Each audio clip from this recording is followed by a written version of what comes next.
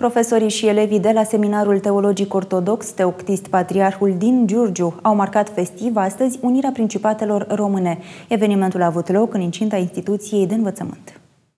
Comemorarea unirii Moldovei cu țara românească a început cu imnul național intonat de membrii corului Melos Bizantin al Seminarului Teologic.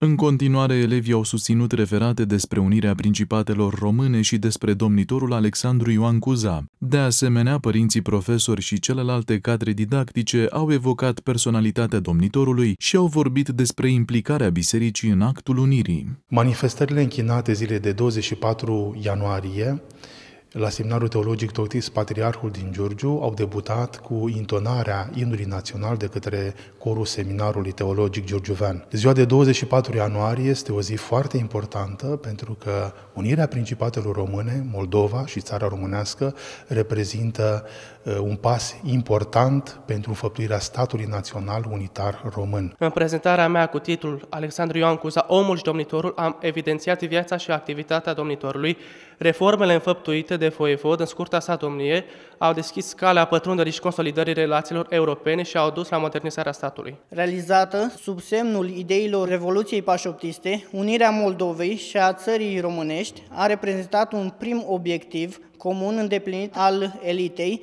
de pe malurile Milcovului. În cadrul evenimentelor dedicate Unirii de la 1859, am susținut referatul Mica Unire, un pas important spre Marea Unire.